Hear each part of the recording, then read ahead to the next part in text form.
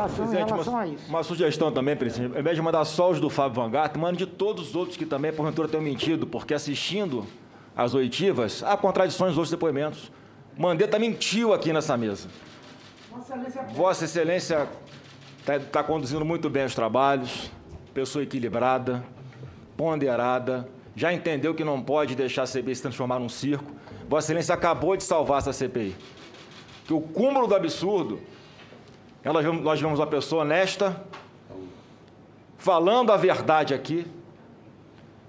Estão tentando tirar uma entrevista como parâmetro de o que é verdade ou não que ele fala nessa CPI. Deixa na sua opinião. Na sua opinião tem 10. Na minha não teve nenhuma.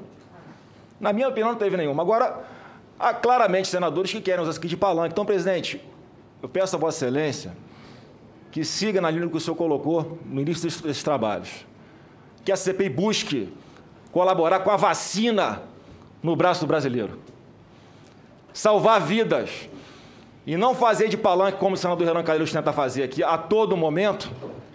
A todo momento querendo. Imagina a situação: um cidadão honesto ser preso por um vagabundo como Relan Calheiros. Olha a desmoralização. A desmoralização.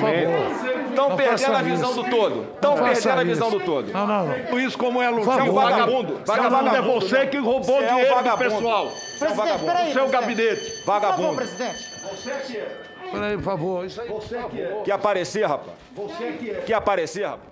Se fuder. Teve um flagrante quebra de decoro aqui, presidente. Por favor, toma providência.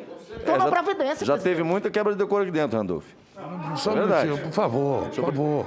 Senador Flávio, senador Flávio Bolsonaro, senador Flávio Bolsonaro, eu estou tentando equilibradamente tentar conduzir as coisas e as agressões aqui entre senadores, isso não vai levar a lugar nenhum.